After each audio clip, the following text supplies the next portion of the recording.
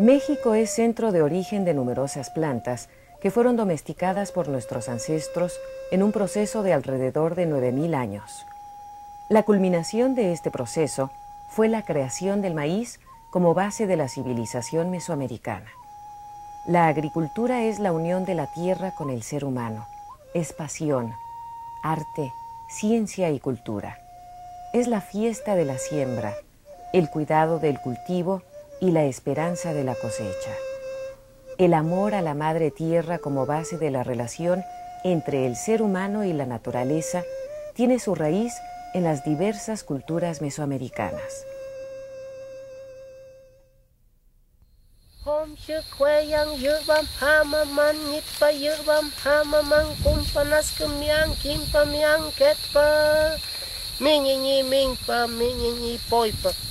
Wa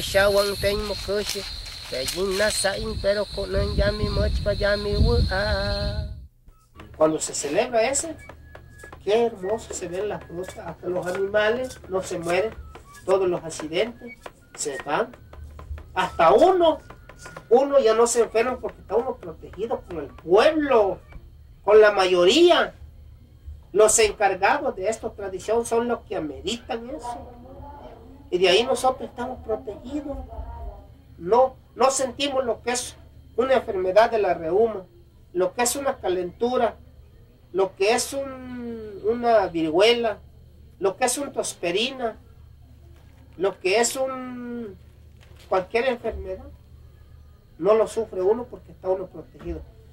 Pero ahorita, por decir así, como se destruyeron los mejores fabricantes, los demás qué?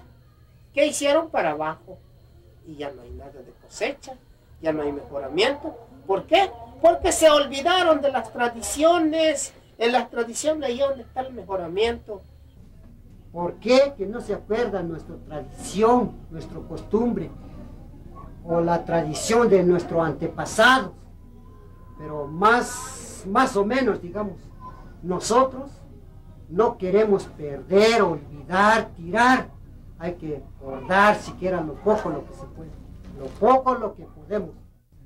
Soy infeliz, soy un señor ya, tengo mucha familia y de mi pueblo aquí el Tilatongo me ha ocupado siquiera de policía pero ahora sí con mucho respeto. He dado mi servicio, mi tequio y mi cooperación.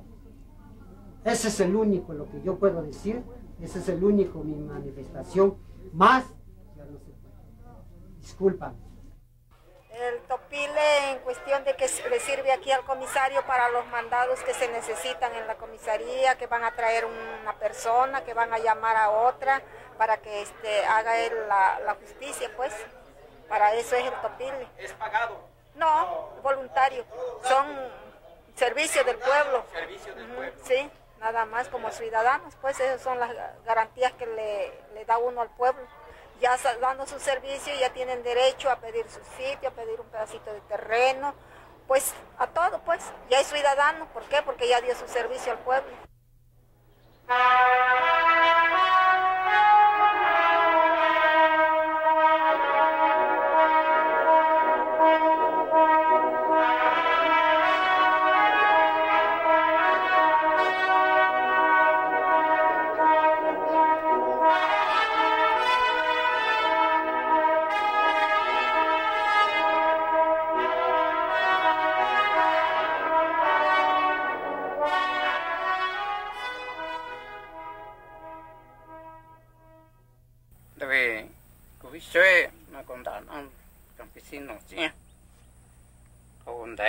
chen ki yu nyu kyun kum ta chen chen ho a ta na nyu kyun a na chung he ken dai da na chen dong ki yu nyu kyun hong ti chou yang kum ta na chen ko ve na ko kwa rồi ni do na ja wa he hu wa ski an in ni ki ho do shu ku tu nin thong na no cha ja wa no dai nó song tho no ko kum dai so cha zo ni sẽ chẳng cha cho ba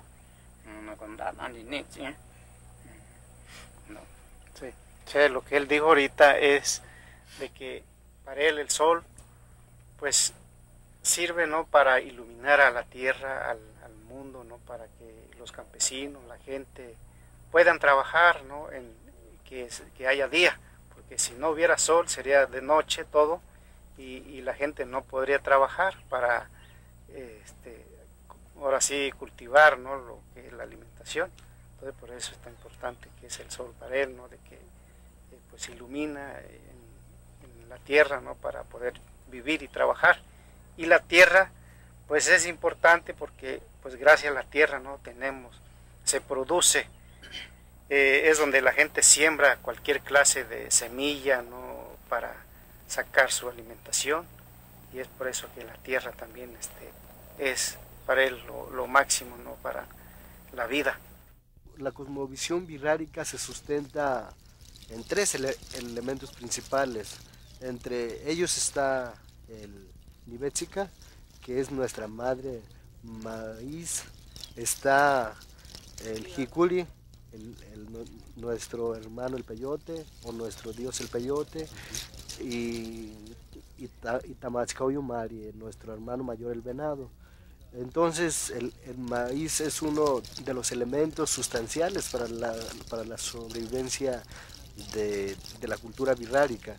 Eh, por eso hemos dicho que los cinco, que los cinco colores que, que tenemos en el pueblo birrárica de, ninguna manera tiene que sustituirse uh, con, los, con los proyectos que, que, impone el gobierno federal, estatal, a, través del Procampo, ¿no? porque esa es la, intención principal, ¿no? de, que, de que los pueblos indígenas pierdan uh, sus conocimientos ancestrales, su cultura que se sustenta en muchos elementos de la naturaleza, ¿no? como es en el caso de nosotros, que, que los dioses o, de, o deidades principales eh, son de la misma naturaleza y no como sucede con otras eh, religiones occidentales. ¿no?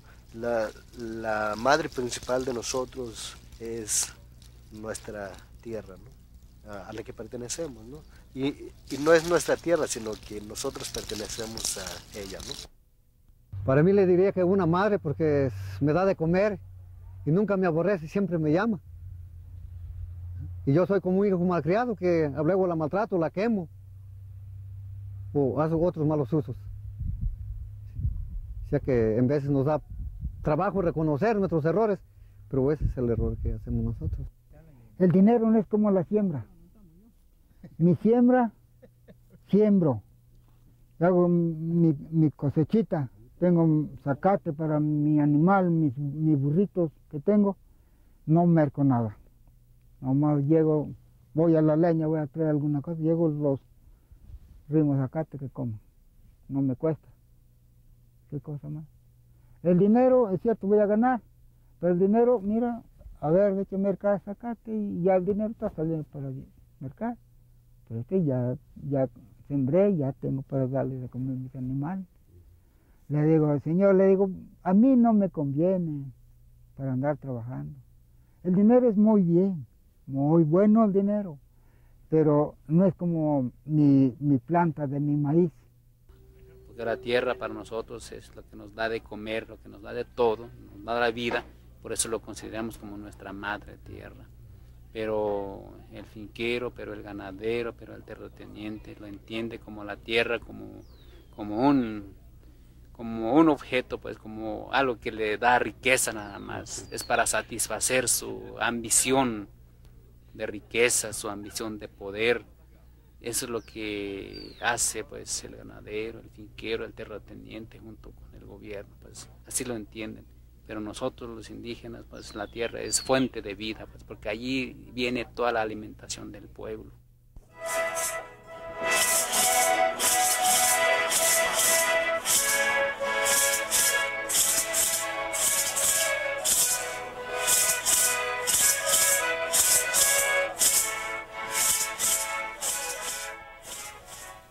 El enorme acervo de conocimientos y respeto por la tierra la Organización Comunitaria para el Trabajo y la Tecnología Tradicional pueden aportar valiosos elementos para un desarrollo sustentable y justo. Sin embargo, las culturas campesinas están siendo marginadas, agredidas, aniquiladas por el modelo económico dominante. En lo que va de este siglo, la agricultura mexicana ha visto pasar la revolución, la reforma agraria, la ganaderización extensiva, la revolución verde con su paquete tecnológico. El campo ha vivido el crecimiento de las burocracias agrarias, la agricultura de exportación y el lucrativo negocio del cultivo de enervantes. Las políticas de modernización y globalización han conducido al abandono rural, la migración masiva de campesinos y el desarrollo de las burdas ciudades latinoamericanas concentradoras de pobres en el laberinto de la modernidad.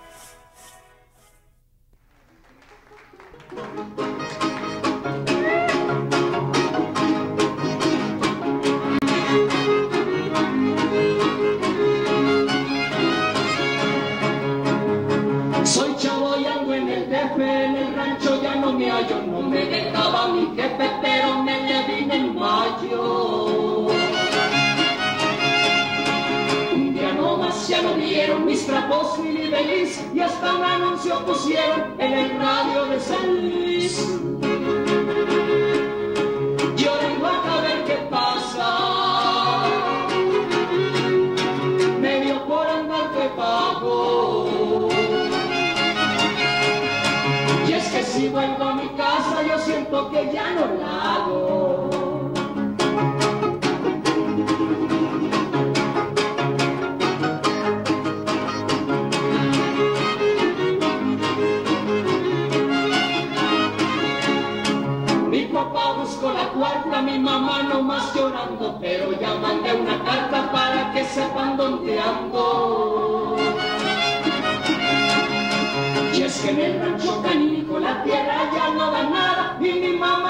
tanto hijo pues me lleva la fregada.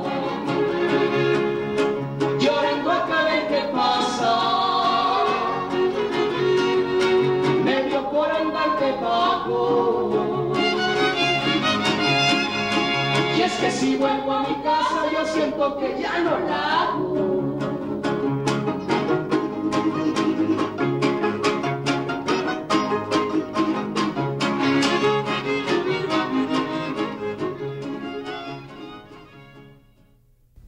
Es que le voy a decir derechamente que pues aquí somos campesinos, no tenemos regadío, pues estamos esperando la, la lluvia de Dios mande. Y ahora, pues este, la, la juventud, al ver que el campo no se da, se va a las ciudades, ya, no, ya dejan el, este, los terrenos optados, como aquel escubillero que está, ya ese, este terreno no se cultiva, ya no tiene producto de cosecha ni nada. No, pues en la ciudad pues este, derechamente se siente triste porque ahí le dan a uno hasta carnita de perro. Muchos de estos niños chiquitos salen a la ciudad, ya crecen, allá ven otras cosas. No, pues fíjate que es mejor vivir así. De eso de que estés matando al campo, mejor vámonos a la ciudad. Así se van jalando poco a poco hasta que llegue en el momento el hombre ya no conoce lo que es campesino. Ya te hablan de pura empresa, de puro obras, y cosa que el campesino no tiene por qué trabajar en obras, empresas. Para eso tiene su tierra para que trabaje en el campo. Pues el campesino no tiene más remedio. Y como el campesino pues lo hace no a base para, digamos, negocio, pues lo hace para su sustento de la familia. Pues así pues la va pasando, ¿no? Porque pues con lo que saca, él guarda para su, su gasto. Y ahí tiene para su gasto y vuelve a hacer otro aunque pues, sea frijolito nada más a diario, pero tiene su maicito, es lo más importante. Y por eso el, yo, el campesino es de ahí no se puede salir, no puede prosperar más, en vez de que como están ahorita, en vez de que prospere, se va hundiendo más. Lo que en lugar de que haya más ventaja y más facilidad, ya los campesinos volvieron más flojos. En lugar que este, entró, o sea, apareció este, la maquinaria agrícola. Tienen que producir más lo que vienen produciendo. pero ahorita ya cambiaron, ya muchos están dejando su terreno, se concentran para la capital, muchos que se concentran a Oaxaca, vivir a Oaxaca, otros que están dedicados al comercio, otros, ya todos los chamacos ahorita, los chavos de 15, 18 años, pues ya se lanzan para Estados Unidos. A Estados Unidos. Estados Unidos se van, pues. Sí, ya ahorita el campo ya casi está abandonado.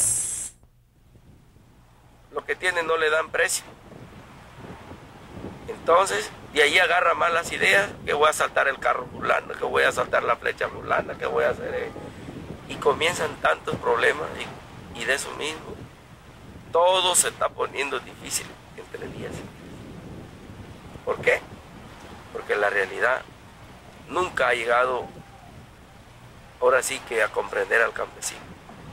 Siempre lo ven en lo peor. Y si el campesino no cultiva, pues nuestro México también se puede morir de hambre. Los demás puros enzapatados en la ciudad, puros con lentes negros, puros de melena, puros de patilla. No quieren trabajar. Los terrenos acá están libres. No quieren trabajar. ¿Por qué? Por la desahución. Aquí se siembra mi milpa, le levanto 4 o 5 toneladas, no la bajan de medio millón, de 600 mil pesos. Y en realidad tiene razón porque desde que comienzas a rozar el terreno hasta que termina la cosecha, es mucho lo que se le pone, lo que se gasta, lo que se invierte. Para que te den una miseria, no da. Y de eso mismo muchos no aguantan y se desahucionan. Pues anteriormente, yo me acuerdo desde muy, de muy pequeña edad, me acuerdo que esta, estas tierras producían mucho, se daba mucho la cosecha, el maíz principalmente. Aquí se da el maíz, lava, el chícharo, frijol, es lo que- el trigo, lo que más se da aquí. Y anteriormente, pues sí, a, a fuerza de la tierra se daba mucho la, la cosecha, pero ahora ya no. Ahora ha perdido fuerza la tierra y ahora a, base de productos químicos como fertilizante, eh, se hace producir la, la tierra a fuerza, ¿no? Anteriormente no se sembraba cualquier clase de semilla, este, sea tomate, chilar o milpa o frijolar, pues este no se conocía ningún tipo de abono ni, herbicida ni nada de eso. Y lo que se sembraba, mire, se daba como si se le hubiera puesto abono, bonito y sin plaga ni nada. Y ahora últimamente, este, pues es muy rara veces cuando, eh, cuando el frijolar se da bien sin, sin meterle abono o sin, aplicarle contra la plaga. El campesino no le pone precio a, su cosecha. El que le pone precio es el que la va a comprar. Si yo voy a venderte una nega de maíz a ti, me dice, ¿a cómo, te, ¿a me lo vas a dar? Oh, pues yo quiero darte la, a 70. No. Si quieres, te pago a 40 o a 30. Y si no, búscale. Es la palabra que le dan a uno. Y uno que se anda ahorcando, se lo tiene que dar a como se lo paguen. Pasamos trabajo. A veces comemos, a veces hasta estas horas, apenas comemos. A pedazos la tortilla. Sí, pues no, no se nos daba, pues. Sí, pasamos trabajo.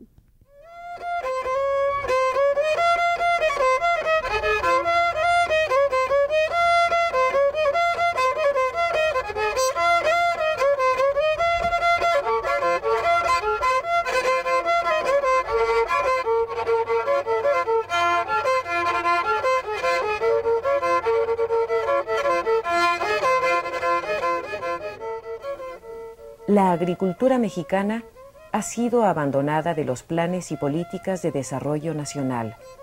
Se acabaron los subsidios, los precios de garantía, los programas de divulgación.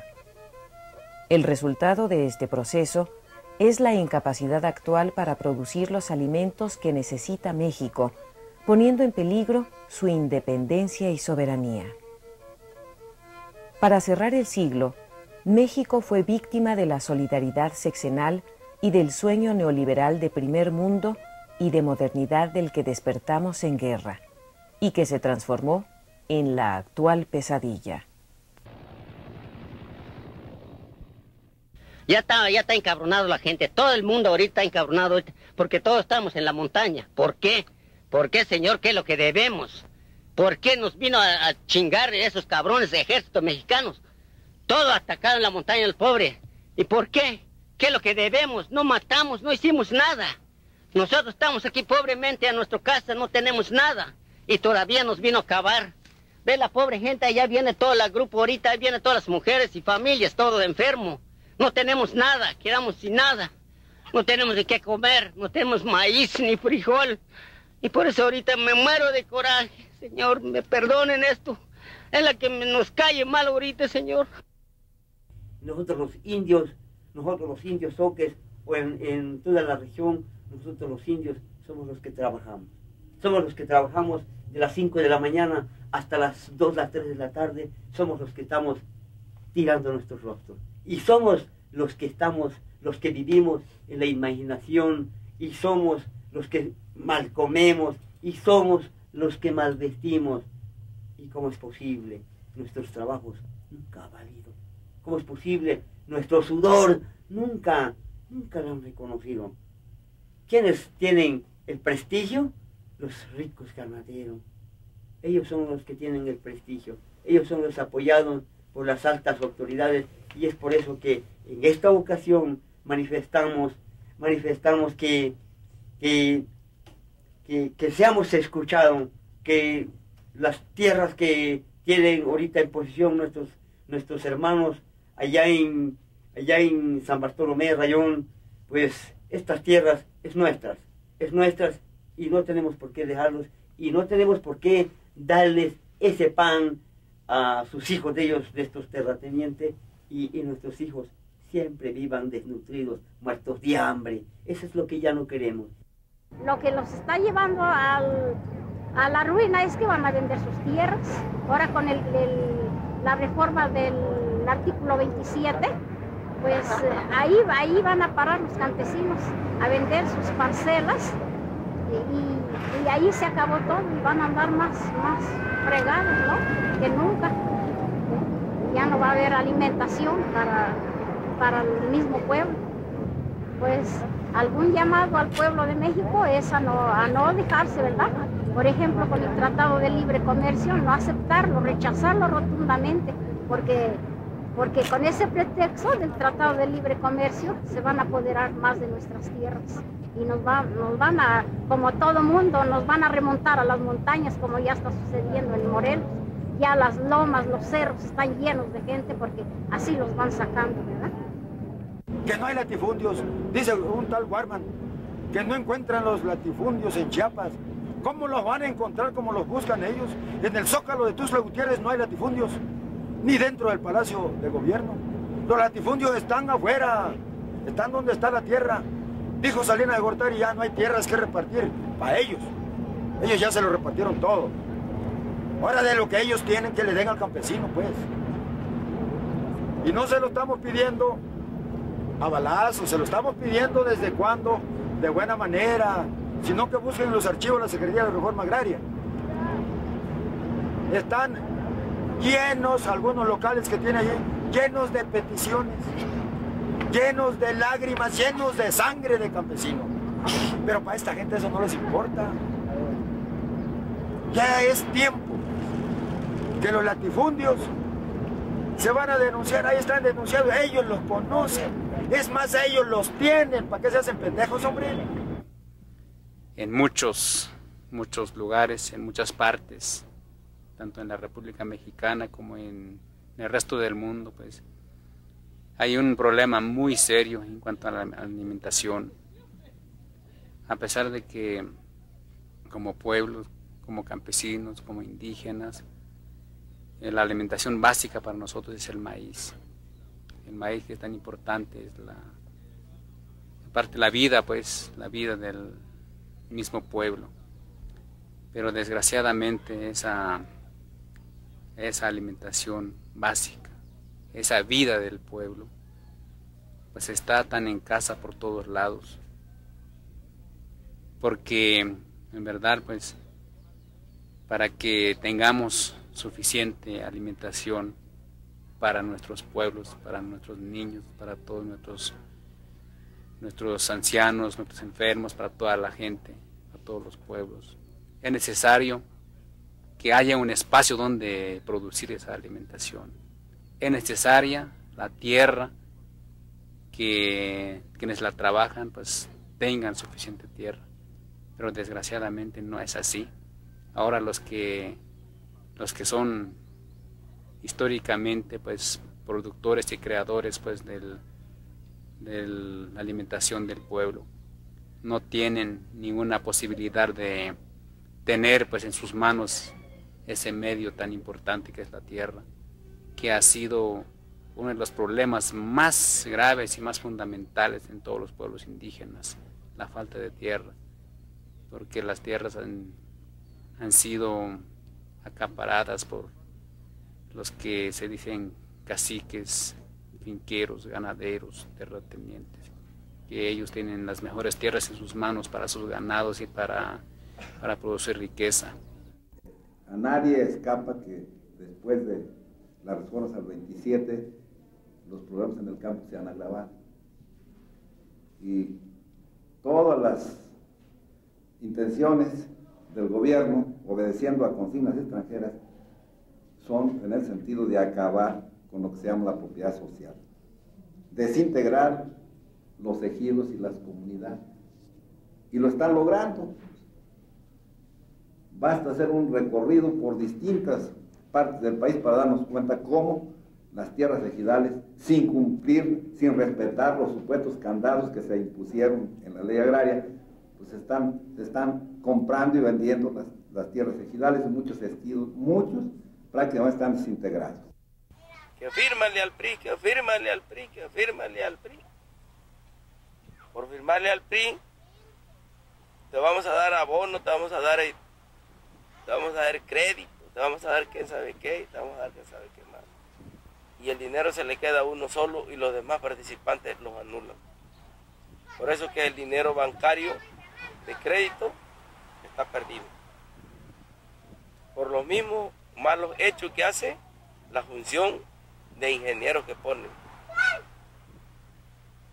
Les hacen comida, les hacen banquete y se hace, se hace ahora sí que a llevar a sobre del, del, del adeudado se toman en cuenta de que de la parte de dinero agarra el ingeniero una parte y una, parte el que lo recibe y al mismo tiempo ellos mismos son los que hacen perder la cuenta de adentro. Y ya no le echan la culpa al que está nada más anotado, sino ya dicen los campesinos. Y los pobres campesinos nunca les queda nada. Nunca les queda nada. Lo único que le queda son los sacrificios que uno hace. Las políticas de producción, las políticas alimentarias se hacen desde los escritorios, alejado por completo de las comunidades, alejado por completo de las necesidades y alejado por completo de lo que en realidad pasa. Y decíamos que llegan proyectos, por ejemplo, de vacas, y en esas vacas se supone que es para elevar el nivel de vida de la gente que tiene acceso a la vaca. Lo que resulta es que como sin, conocer eh, en realidad la dinámica de las comunidades y sin tener este, las herramientas necesarias, en la vaca se gasta más que incluso en, darle alimento, en darle atención médica, veterinaria, más que en los niños o más que en la misma esposa. Y de hecho, bueno, hay compañeros que fueron este, beneficiados, entre comillas, con una vaca, que quieren deshacerse ya de la vaca porque ya de hecho su esposa y sus hijos protestan porque la vaca tiene más comida y balanceada además este, que la de los niños y, que, y la del mismo médico. O sea, eso yo creo que es muy importante tomar en cuenta porque esto nos habla precisamente de que el gobierno elabora sus, políticas alimenticias, elabora sus proyectos productivos alejado totalmente del sentir, de las necesidades reales de las comunidades. Nosotros por eso precisamente estamos hablando de una autonomía regional y lo que decía el de las vacas, inclusive nosotros sentimos que a veces el Estado, o en este proyecto neoliberal que tiene, pues te da eso, ¿no? Sabiendo de que va a ser un fracaso y que, bueno, te va a decir, tú me debes, ya no puedo darte nada y te tiene ahí en, el total, en la total indefensión. Ahora, si nos permiten este, realizar esta autonomía regional que nosotros pedimos, en donde nosotros implantemos nuestros proyectos, tanto económicos, culturales, políticos y sociales y todo lo que implica esto, bueno, nosotros le estaríamos dando la respuesta a este proyecto alimentario, no una política real, tanto en el agro y con las raíces nuestras como indígenas que tenemos. Y bueno, de hecho nosotros hemos subsistido con esta práctica de auto alimentaria que le llaman, ¿no? la producción para alimentarnos nada más y después ver lo del excedente y que es lo que nos destruyen al tratar de cambiar los cultivos, quitarnos el maíz, ponernos el aguacate, luego se cierra el mercado, no podemos vender el aguacate, no tenemos el maíz, ya no tenemos que comer, tampoco hemos tenido esas ganancias que plantean a veces en sus proyectos mal aplicados. Y con el programa Procampo se nos pretende engañar en la ciudad y en el campo, con pretexto de apoyar en la producción de granos para bien alimentar a todos los mexicanos, ahí más o menos bien. Los 470 nuevos pesos devaluados de apoyo a la producción por hectárea de extensión no compensa ni siquiera la indebida reducción impuesta por, con tiranía al precio de garantía. Los cacareados insumos de la gran tecnología que vende la burguesía son más caros cada día. Eh, degradan mucho la tierra, contaminan el ambiente y la salud de la gente, dañan la ecología y minan la economía.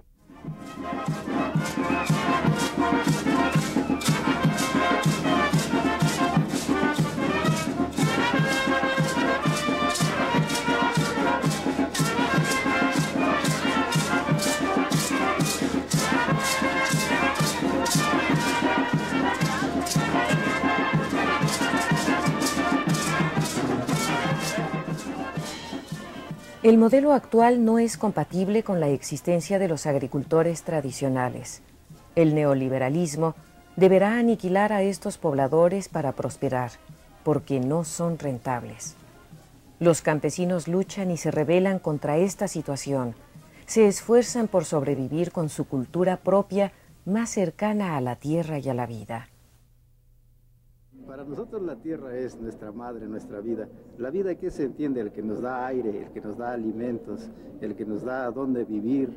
Entonces, si nosotros estamos hablando de una comercialización, de, una industrialización de esto, estamos hablando de la venta de nuestra madre, pues. Y eso no es posible y hay un choque en cuanto a propuestas y, que se dan porque aquí no se diferencia bien si, si vamos a apuntalar al neoliberalismo, cómo vamos a vivir con el neoliberalismo, o si vamos a dar un nuevo proyecto. Y de ahí que nosotros decimos que la autonomía regional de nuestras comunidades tiene que dar la respuesta a esta, porque nosotros dentro del neoliberalismo vamos a desaparecer, de hecho, ese es el planteamiento. Y bueno, estamos entendiendo a la madre tierra como dadora de nuestra vida, entonces tenemos que cuidar la ecología, el entorno que tiene.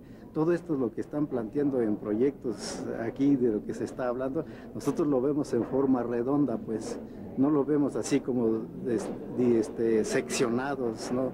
Eh, que, la venta, que este, la distribución, que nosotros lo vemos global, así como vemos este, la madre naturaleza en lo global, que nos da aire, que nos da comida, que es donde vivimos y es donde nos va a dar el sustento. Bueno, ese es el planteamiento económico también que hacemos nosotros en nuestras comunidades. Y si no se recupera esto, lo de que le vamos a dar abonos orgánicos o no orgánicos a la tierra, que le vamos a dar nuevo para que nos dé más productos, no es posible si no se ve todo el entorno ecológico, el medio ambiente en el que vivimos.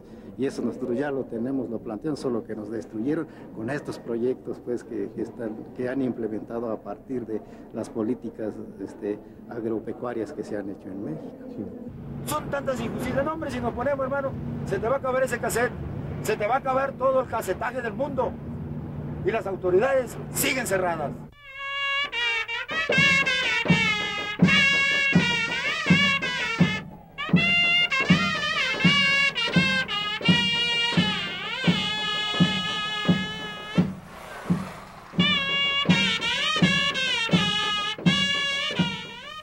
Esta es la fiesta y la tragedia del campo mexicano. es la desesperada situación en la que viven millones de productores campesinos. Si no se modifican las actuales condiciones de vida, la tierra revienta.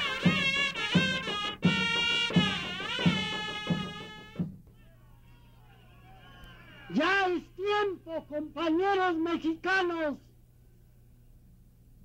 que enseñemos a los nuestros, a los hijos, a los amigos, a los vecinos, a unirnos como un solo hombre y una sola mujer, a defender el derecho de la patria mexicana.